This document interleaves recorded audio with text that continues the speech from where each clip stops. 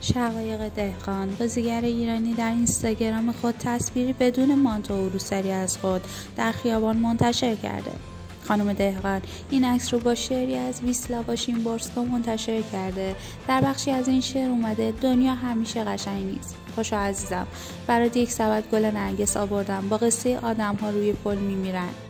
خانم دهقان چندی پیش عکسی بدون روسری از خودش در استوری اینستاگرامش منتشر کرده و با کنایه به سهمی بودن افتادن روسریش نوشت که از هیچ کسی عذرخواهی نخواهد کرد.